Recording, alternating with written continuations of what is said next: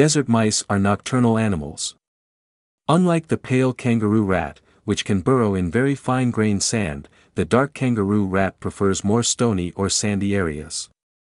Apart from storing their food in these holes, they also hide here during the day.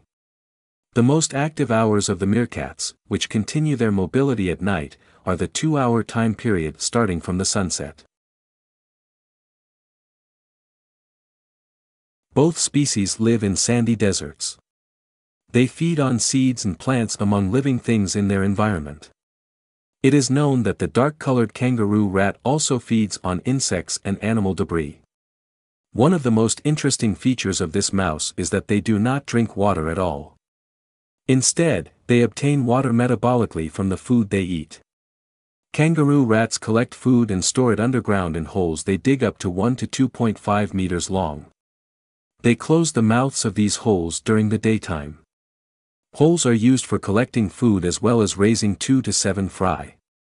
The pale kangaroo rat burrows only in very fine-grained sand, while the dark kangaroo rat prefers stony or sandy soils. Kangaroo rats are nocturnal creatures and are most active two hours after sunset. They are known to hibernate in cold weather.